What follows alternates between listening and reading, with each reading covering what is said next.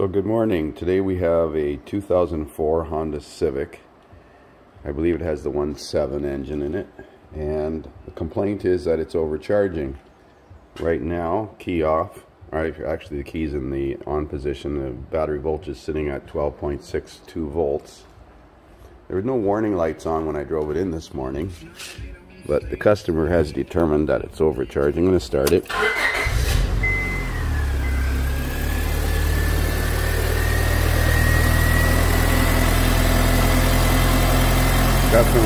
Overcharging.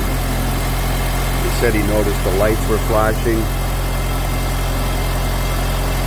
18.3, 18.4, and going up. So we'll have a look at what causes that. I know the computer controls the charging system on this, but I'm wondering if it could be a ground problem. See, this ground wire looks pretty sketchy.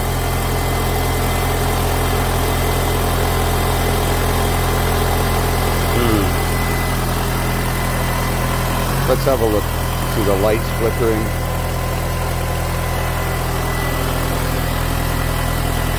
Eighteen and a half volts. Now this ground cable is pretty compromised.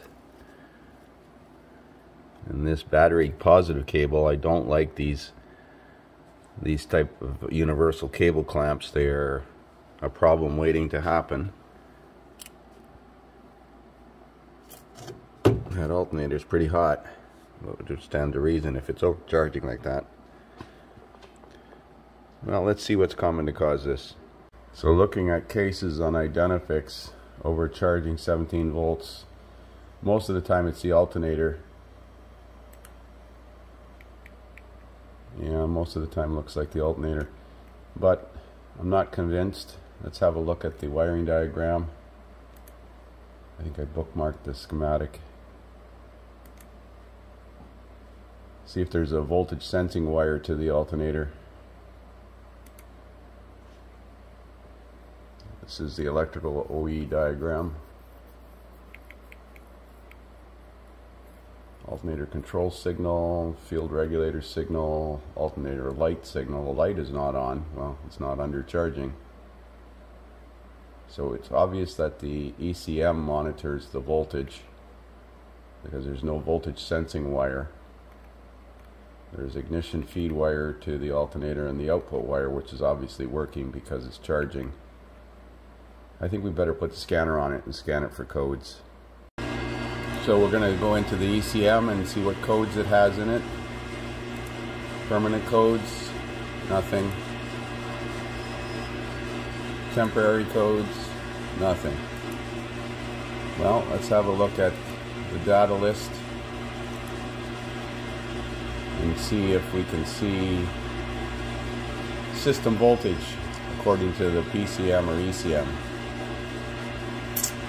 According to the scan tool, it's 11.7 at the DLC. Mm, battery voltage, 11.9. So let's start it up and see what happens. Well, as you can see, it's climbing to 17, spiked down to 14 there for a fraction of the, the voltmeter was doing that on the battery. Alternator control desired at 14.5 and the actual voltage is 18.3 and climbing. So we're going to put an alternator on this thing.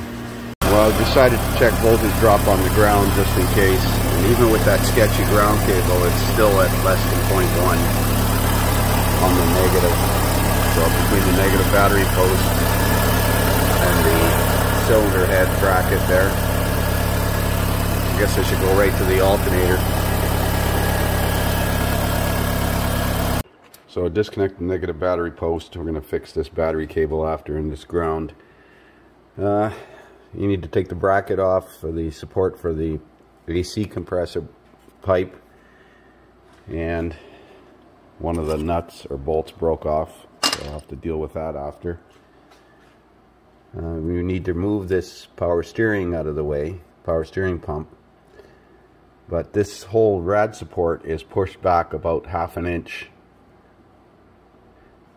You can see the uh, shroud has been doctored so that it doesn't touch the alternator. It's going to make it interesting to get this alternator out of here, I think. Oh well, carry on.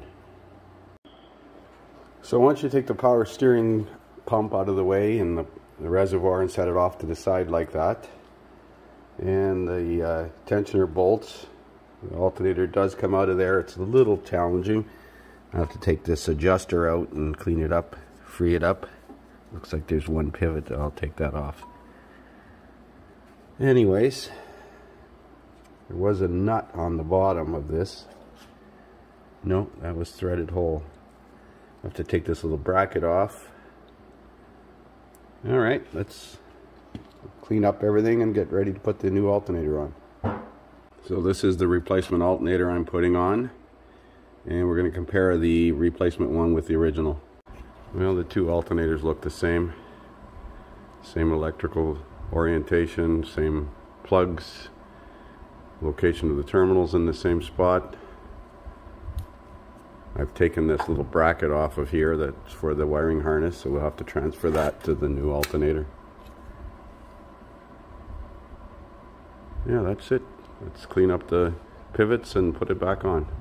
So there it is, back together and running.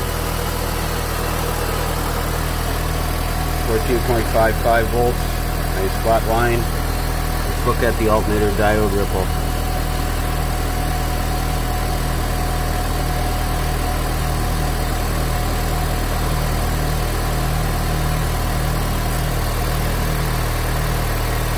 That's beautiful. Now I still am going to fix this ground cable here. Although it's not causing a problem, it will be a problem shortly. That's the ground for probably the body. So anything that's attached to the body, headlight, heater fan, instrumentation and such.